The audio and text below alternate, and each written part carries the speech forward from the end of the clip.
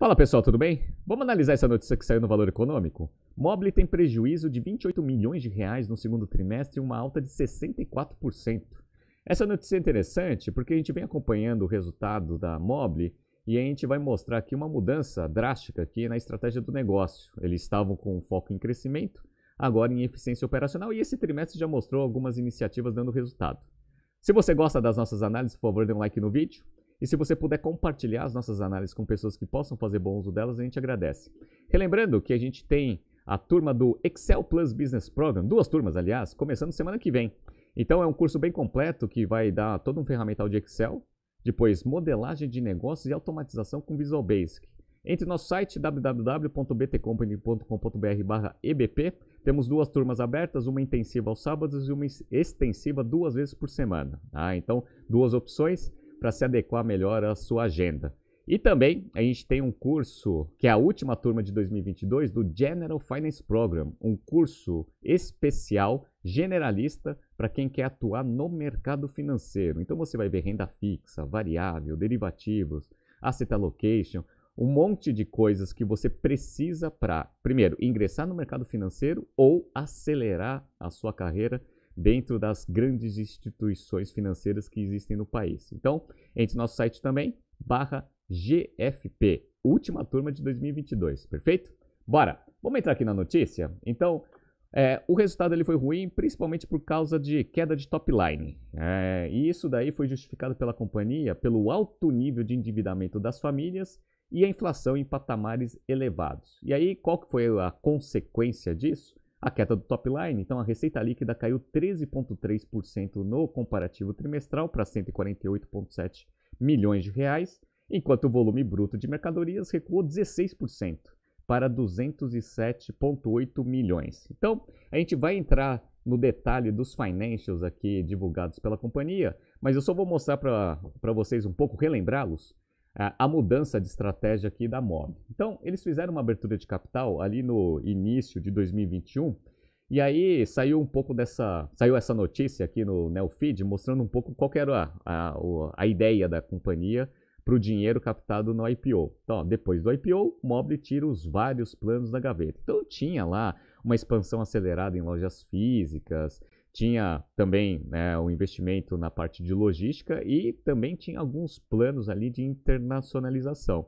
Então o mindset ali no começo de 2021 era bem otimista em relação ao que poderia acontecer com a empresa depois do IPO. Só que a gente viu que as condições de mercado elas ficaram bem diferentes em relação ao primeiro trimestre de 2021. E aí saiu uma outra notícia aqui da Mob, só mostrando né, a diferença aqui de, de análise é, em, no dia 30 de 3 de 2022. Resultado da Mobile traz spoiler de um 2022 desafiador para a companhia.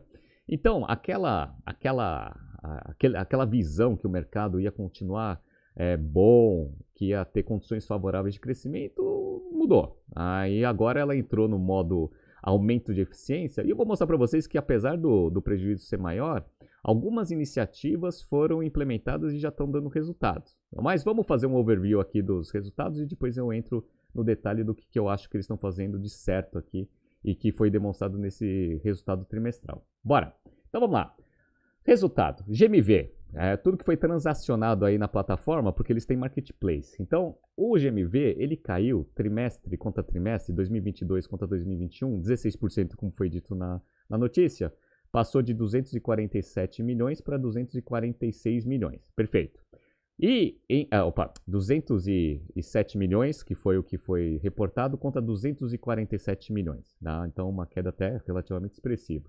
Em relação a 2020, essa queda foi de 15,6%. Legal. Relembrando que 2020 foi um ano muito bom para Mobile, porque as pessoas ficaram em casa e aí houve um aumento da procura de artigos de decoração, etc. Então, não foi um ano ruim. Então, em relação a uma base muito boa, uma queda expressiva aí em relação a, a volume de transação é, dentro da plataforma. A receita líquida caiu 15,3% no comparativo em relação a 2021, 148 milhões contra 175 mas houve um aumento aqui, 17,3% em relação a 2020. Né? e 26 milhões foi a receita do segundo trimestre de 2020, que foi, a princípio, o pior trimestre né, em termos de pandemia. Legal. A gente viu também um aumento é, pontual aqui na margem bruta, passou de 37,4% para 38%, interessante, só que está num patamar bem abaixo aí de 2020, que era de 40,3%. Eles deram uma otimizada forte nos custos logísticos, isso daí foi interessante, caiu 25% os custos logísticos aí desse trimestre em relação ao mesmo trimestre do ano anterior. E a margem de contribuição 2, que é quando você tira né, esses custos logísticos, ele aumentou 2 pontos, 2 pontos percentuais. Foi para 25,4 contra 23,3. No entanto, aqui algumas despesas aumentaram. Então, a gente viu aqui o aumento aqui nas despesas, principalmente de pessoal administrativo e também de despesas operacionais gerais. Então, na média, 19% de aumento de despesa, o que fez a margem BIT daqui ficar negativa em 7,7%, é um pouco acima aqui dos 3,4% que estiveram no mesmo período do ano anterior. Perfeito. Aí você fala assim, pô, Renato, então você está me falando aqui que o resultado operacional ele foi pior. Sim, de fato, ele foi pior até por causa da queda aí de receita do negócio. Outra coisa que contribuiu negativamente também para o resultado foi as despesas financeiras. Se você dá, der uma olhada aqui no detalhe que eu estou mostrando para vocês, despesa financeira passou de 5,1 para 9,16. Só que, qual que é um dos pontos aqui da receita financeira? Uma da, da, das, da, das, das linhas né, que compõe essa despesa financeira é o custo de arrendamento. Né? Porque depois do IFRS 16 você paga aluguel e aí você demonstra esse pagamento de aluguel de uma forma diferente e entra uma parte aqui no resultado financeiro. Então, não é que aumentou, a empresa está endividada e aí o custo aumentou. Não, a empresa nem tem dívida. Né? O que ele tem ali de pagamento de juros é antecipação de recebível no grosso. Legal? Que, por sinal, até com o aumento de taxa de juros comparáveis, ficou até menor.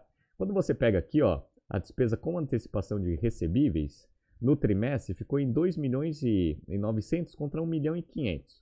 Só que quando você pega aqui os recebíveis, de uma forma geral, cadê os recebíveis aqui, ó? O recebível no segundo trimestre de 21 era 137,900. E agora está em 118 milhões. Diminuiu. Aí você fala assim, ah, então quer dizer que eles anteciparam bastante, né, Renato? Não, porque a receita caiu também, como a gente viu. Então, eu até vi que eles deram uma antecipada pelas minhas contas, até um, um, um valor menor do que eles tinham antecipado no mesmo período do ano anterior. Mas como a taxa de juros está maior, o custo de antecipação ele também fica mais alto. Então, na média, fica mais ou menos a mesma coisa. Então, não foi é, um dos ofensores essa antecipação de recebível, mas sim a expansão por loja própria e aí você paga arrendamento ali e entra como uma linha de despesa, só para ninguém confundir aí esse ponto. Bora, vamos ver aqui, eu passei aqui, o que, que caiu né, das linhas de receita que a empresa tem é, dos canais principais. Então, ó, o website, que é o, o, site propriamente dito, ele teve uma queda de GMV de 39,7%. Ah, então isso daí é preocupante. O marketplace ele teve uma queda de 11,7%. E os seller centers aqui caiu 41,9%. Você fala assim, caramba, mas tudo caiu? Por que, que a receita só caiu a princípio 15%? Porque as lojas próprias, que essa é a estratégia de crescimento do negócio, aumentou bastante, ó, 71,2%. Passou de 34 milhões e 700 aqui de GMV gerado das lojas para 59,5. Então, essa estratégia de loja própria, a princípio, está impulsionando aí a receita. Só que qual que é o problema? O problema é que ele está tendo uma queda forte aí nos outros canais. No agregado, uma queda de 16% no GMV, que representa uma queda de 15,3% na receita. Então, precisa dar uma olhada um pouco nessa nessa, nessa estratégia de crescimento, até porque loja própria ela exige muito capex. E a empresa está precisando dar uma preservada aí no caixa que ela levantou. Ainda tem bastante caixa, mas precisa dar uma preservada nesse caixa aí, até porque a situação nos próximos trimestres não é tão favorável assim. Beleza. O que, que a empresa vem fazendo para conseguir diminuir a queima de caixa operacional? Aí é uma das coisas que a gente ensina fortemente aqui nos cursos da BTC, que é o que?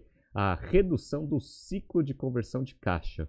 Quanto menos ciclo de conversão de caixa você tem, menos capital de giro operacional você precisa para rodar a sua operação. Quais são as três principais alavancas do ciclo de conversão de caixa? Prazo médio de recebimento, prazo médio de estoque e prazo médio com fornecedores. Aqui a gente vê que eles é, divulgaram um, uma bela melhora no ciclo de conversão de caixa. No, no, no mês aqui de abril de 2022, eles estavam com 59 dias de prazo médio de recebimento. Isso caiu para 39 dias em maio e 37 dias em junho. O prazo médio de estoque também deu uma reduzida, foi menor aí do que a redução do prazo médio de recebimento, mas mostra aí uma otimização logística e de supply chain. Eram 105 dias de prazo médio de estoque, caiu, aumentou um pouquinho para 106, só que agora no último mês foi para 103. E um trabalho forte ali da, da área de compras, provavelmente, foi alongar o prazo de pagamento com fornecedores.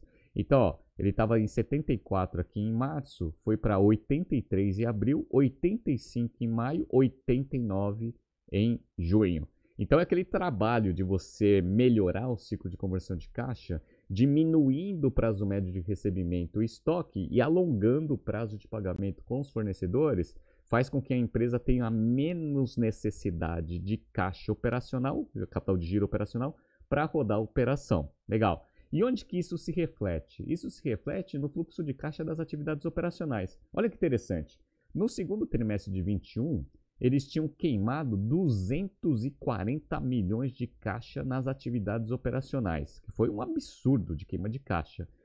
Quanto que foi essa queima de caixa em segundo trimestre de 22? Reduziu para 22,8. Então eles reduziram aí 90% da queima de caixa trimestre contra trimestre e o grande alavancador dessa redução da queima de caixa foi o quê? Ciclo de conversão de caixa menor. Dado que a empresa ainda está com prejuízo, qual que vai ser provavelmente as iniciativas dos próximos trimestres? Reduzir um pouco do nível de despesa, tentar aumentar um pouco do top line para dar uma diluída nos custos fixos, para conseguir fazer a empresa ser rentável, a operação ser rentável, e dado que o ciclo de conversão de caixa ele vem sendo otimizado, não vai me espantar aí que nos próximos trimestres, eventualmente, a, a Mobile consiga, com, consiga reverter essa queima de caixa operacional para começar a gerar caixa operacional. Por que, que isso é importante? Porque a gente viu que o grande, né, a grande estratégia de crescimento do negócio é abertura de novas lojas. E a abertura de novas lojas, ela exige aqui, ó, nesse trimestre, um CAPEX de 22 milhões. Então, se você precisa de 22 milhões aí para abrir novas lojas, se não for por geração de caixa operacional, vai ter que vir por consumo de caixa. Só que o caixa, né, ele tem uma vida finita se você só queima ele trimestre por trimestre. Tanto é que no segundo trimestre houve uma redução de caixa aqui em torno de 67 milhões. Eles começaram o trimestre com 271 milhões de caixa, caiu para 203. E o que estava preocupando muito o mercado é que esse caixa estava queimando a patamares muito maiores. Só para vocês terem uma ideia, a posição de caixa da Mobile no início do segundo trimestre de 21 era de 433 milhões. Agora está com 203. Então vocês viram aí que em um ano eles queimaram metade do caixa. Se continuasse nesse ritmo, não ia durar um ano. Agora a gente consegue ter um pouco mais de alívio aí nessa perspectiva da empresa ficar sem caixa. Uma das coisas que facilita a estratégia da Mobile é que ela não tem dívida. Tá? Então ela pode eventualmente tomar um pouco de dívida no mercado para conseguir executar essa estratégia de crescimento. Quais são os pontos principais? Saber se as lojas estão dando marginalmente alguma rentabilidade que justifica você captar dinheiro a uma taxa de juros alta que está agora, beleza? Tá? E a outra coisa é, esquece mercado de ações. Né? Fazer novas emissões Acho que é, um, é uma coisa que não está nos planos e nem tem viabilidade hoje no mercado. Por quê? Bom, deixa eu mostrar aqui um pouco dos resultados aqui em termos de mercado financeiro, ações. O resultado da Mobile aqui, quando ele divulgou na sexta-feira, ele né, não foi nem visto né, de uma forma muito ruim, nem de uma forma muito boa, então as ações andaram de lado. Apesar que no final do pregão aqui houve uma queda, as ações atualmente estão sendo tradeadas aqui a R$ 2,75. Por que, que você fala que o mercado de ações não é uma opção tão boa aí no curto prazo? Porque se você pegar aqui, desde a abertura de capital, a Mobile é uma das empresas que fizeram IPO e que estão com uma performance péssima. As ações, elas saíram a 22 reais. 22 reais, está R$ 2,75. Então aí uma queda gigantesca para quem entrou na abertura de capital. Eu acho difícil a Mobile conseguir acessar mercado financeiro, mercado de capitais no curtíssimo prazo. Então, essas iniciativas de aumento de eficiência operacional na geração de caixa elas são fundamentais para a Mobile continuar esse ritmo de crescimento via lojas próprias, para conseguir aumentar a performance do negócio, tentando fazer a empresa ir para o patamar de lucratividade. Vamos ver o que ela está fazendo, mas pelo menos o ciclo de conversão de caixa eles estão conseguindo otimizar. Se continuar esse ritmo, né, no próximo trimestre, né, se não houver uma queda abrupta aí na receita, eu acho que já vai ter uma geração de caixa interessante do negócio. Vamos acompanhar o próximo trimestre. Tá surgindo aqui alguns BTCs News passados para vocês se atualizarem. Não se esqueça de se inscrever no nosso canal e na nossa newsletter. grande abraço e até amanhã.